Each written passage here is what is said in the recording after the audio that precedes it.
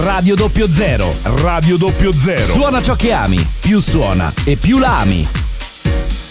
Allora Vincenzo, cosa vuol dire essere direttore tecnico di un evento sportivo come la Stradinamica? Eh, vuol dire soprattutto metterci tanta passione perché comunque significa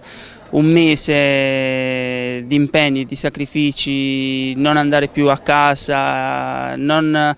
eh, essere il capofamiglia come normalmente perché comunque c'è da fare tantissimo, c'è da, da tracciare il percorso affiggere i divieti, andare per gli sponsor, organizzare anche tutto con la federazione e quindi c'è tanta tantissima fatica per una, per una manifestazione del genere, per, però poi vieni ripagato dalle iscrizioni, eh, siamo a circa 1100 e quindi tutto, tutto, va bene. Aspettiamo domani, il tempo è con noi, quindi voglio fare anche un in bocca al lupo a tutti gli atleti che hanno deciso di partecipare alla stradinamica, perché ci saranno quasi tutti i più forti atleti a livello regionale.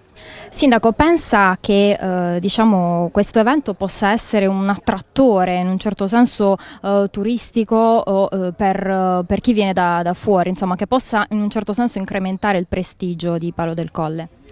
Beh, eh, sicuramente è un, um, uno stimolo a soffermarsi e a riflettere anche su quelle che sono le caratteristiche del nostro territorio, non solo, ma anche le caratteristiche strutturali, architettoniche, eh, c'è Piazza Santa Croce che è punto di arrivo eh, ed è sicuramente una quinta scenica tra le più belle, eh, ma anche il fatto di, eh, che il circuito, il percorso si dislochi lungo la periferia periferia di Palo è eh, significativo perché abbiamo comunque una bella periferia, non è abbandonata e soprattutto perché eh, si affaccia sull'agro eh, che è eh, una nostra risorsa, una risorsa importante e con eh, l'incentivo al, um, al turismo dell'entroterra, al cicloturismo che mette in evidenza anche i percorsi rurali, diciamo che è una gara come la stradina dinamica non può far altro che eh, attenzionare il territorio tutto. Dottor Lerario, quali sono i ruoli e le responsabilità appunto del responsabile sanitario di un evento sportivo come questo? Un evento di questo genere a cui partecipano oltre 1000-1200 dicevi, ehm, corridori è un numero che va triplicato perché il corridore non viene da solo ma viene eh, accompagnato, quindi